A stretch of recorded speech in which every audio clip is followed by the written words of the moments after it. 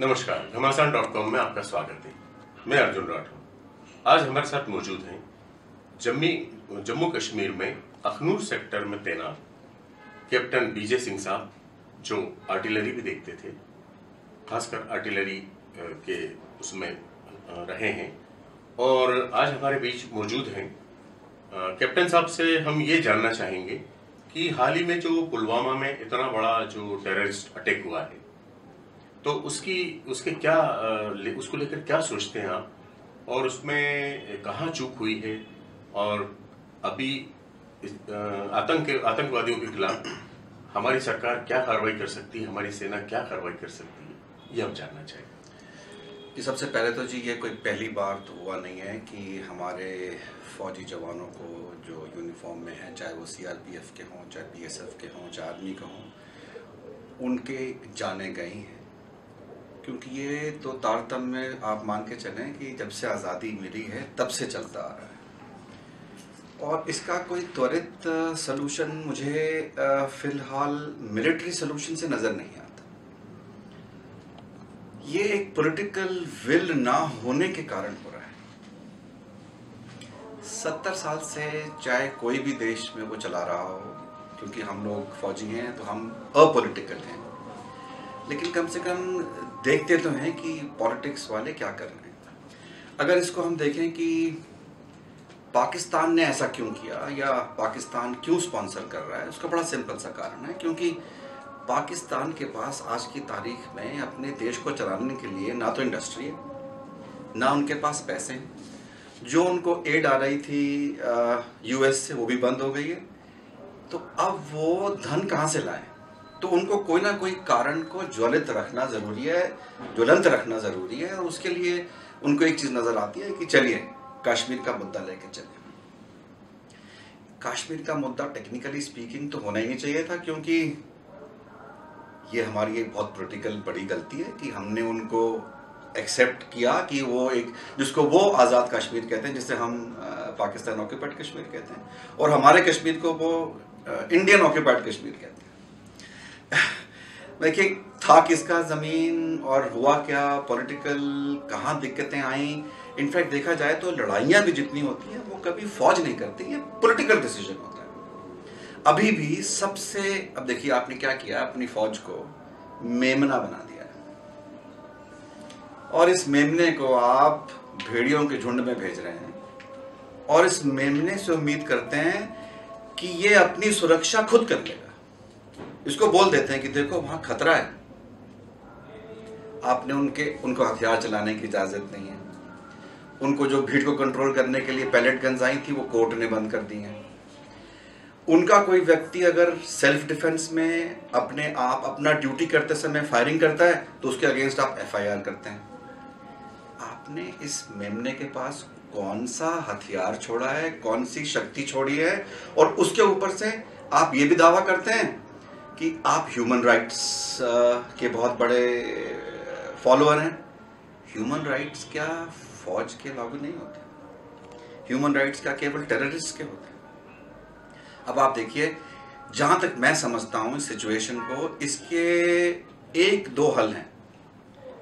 Military हल तो नहीं है, क्योंकि आज की तारीख में हमारा देश बहुत बढ़िया ग्रो कर रहा है। बहुत बढ़िया जीडीपी है। इंडस्ट्री टॉप पर है। विश्व में हम बहुत इंपॉर्टेंट स्थान क्रिएट कर रहे हैं। अभी हमको मिलिट्री तरीके से उलझने की कोई ज़रूरत नहीं है। क्योंकि अगर हम, पाकिस्तान तो चाहता ही है कि हम उससे उलझ जाएँ। उसका तो कुछ बिगड़ने वाला नहीं है बिकॉज़ उसका कुछ है ही नहीं बिगड़ने के लिए। बिगड़ेगा हमारा। और आप ये मान के चलिए, बहुत आसान है ये कह देना। चाहे वो प्रधानमंत्री हों, चाहे कोई बड़े नेता हों मुझे तो ये समझ में समझ में नहीं आ रहा है, जो कि एक नॉर्मल नागरिक को समझ में आना चाहिए, क्या हम अनाउंस करके लड़ाई करते हैं? क्या हम उद्घोषणा करते हैं किसी पॉलिटिकल पार्टी रैली में और बोलते हैं कि हम बहुत जल्दी इन पर हमला करने वाले हैं? क्या ये महाभारत का युद्ध है? जहाँ पर हम शंखनाद करेंगे और फिर बोलेंगे, अब हम युद्ध की शुरुआत करते हैं। फिर शंखनाद करेंगे, बोलेंगे, अब हम युद्ध समाप्त करते हैं। What are we talking about do we give away our surprises and tell them okay tomorrow we going to attack you I think it's a very childish way of handling a country I am not pointing at any particular individual पर आप समझ सकते हैं all politicians are doing this today in fact देखा जाए तो हमने एक तरह से, एक तरीके से तो मीडिया वॉर तो कर ही दी है, चालू। हम तो बिल्कुल इस इस मूड में बैठे हैं कि बस कल को बम फूटने वाला है। देखिए, उससे कुछ होने वाला नहीं है। इसका सबसे बड़ा अगर आपने सोल्यूशन लॉन्ग टर्म निकालना है तो वो पॉलिटिकल सोल्यूशन और पॉलिटिकल सोल्यूशन में सबसे इंपॉर्टेंट जो जो सबसे बड़ी बाधा आपकी तारीख, आज की तारीख में आपके साथ है, वो है आपका आर्टिकल 370 आप 370 को हटाइए। जब प्रेजेंट गवर्नमेंट आने वाली थी तो बहुत बड़े वादे किए गए कि हम 370 को हटाएँगे। आप मेजोरिटी में रहे सेंटर में आप कोalition में रहे जे के स्टेट में, क्या किया?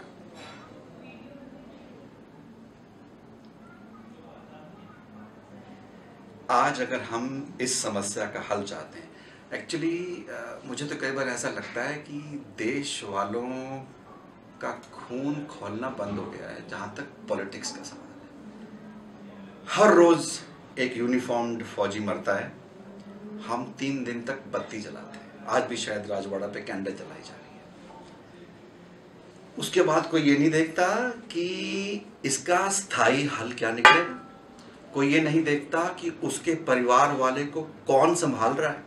क्या उसको जो बेसिक हमने सो कॉल्ड फौजी के राइट्स थे, वो दिए हैं? वी डोंट केयर हमारी एम्पथी हमारी सिंपथी मुझे लगता है सारी पॉलिटिक्स में घुल के ख़त्म हो गई। हम केवल अपने पॉलिटिकल बेनिफिट के ही पीछे पड़े हुए हैं।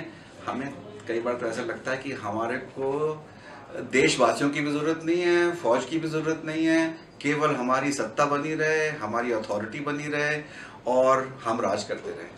मुझे तो कई बार ऐसा दिखाई देता है पूरा तारतम्य दो तीन बातें कही जी। कि इस तरह से जो सरकार इसका राजनीतिकरण कर रही है जी। और इसको मीडिया वार जो बनाया जा रहा है जी। तो आपने एक बात सही कही कि युद्ध कोई घोषणा करके नहीं होता है। युद्ध की जो भी एक पॉलिसी रणनीति रणनीति होती उस पर सरप्राइज़ एक बड़ा इंपॉर्टेंट एलिमेंट है। तो वो सर थोड़ा सा और आप इस देखिए। बड़ा सिंपल है। हम ये कह देना कि हम सर्जिकल स्ट्राइक करेंगे नया शब्द मिल गया हम सबको। ऐसा नहीं है कि इस सर्जिकल स्ट्राइक और उरी की स्ट्राइक से पहले हमने कभी बॉर्डर क्रॉस नहीं किया और स्ट्राइक नहीं की ये सारी चीज़ें टैक्टिकल्स हैं टेक्टिकल चीज़ें हैं जिनको संभाल के रखा जाता है बताया नहीं जाता subscribe our channel and press the bell icon for more updates.